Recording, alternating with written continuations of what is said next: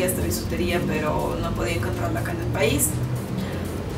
Vendían cierto tipo de, de bisutería, pero era, era más masculina que, que femenina, era bastante tosca, con cuerina, entonces yo quería algo más, más delicado.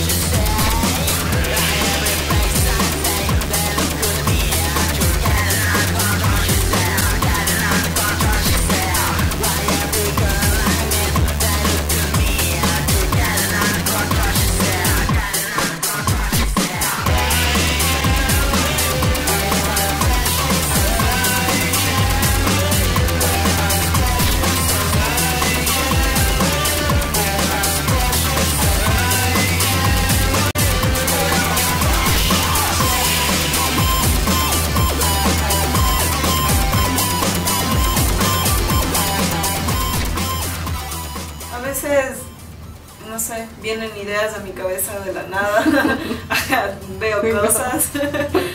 Otras veces eh, salen ideas de los retazos, otras veces solo veo el material y digo, tengo que hacer esto con este material.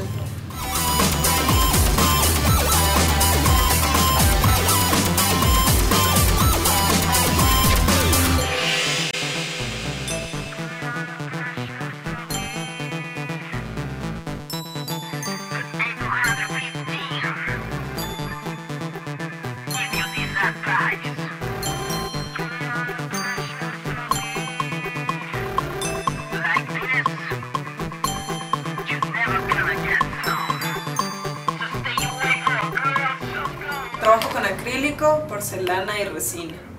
Mis materiales favoritos son la resina y la porcelana. La porcelana me encanta.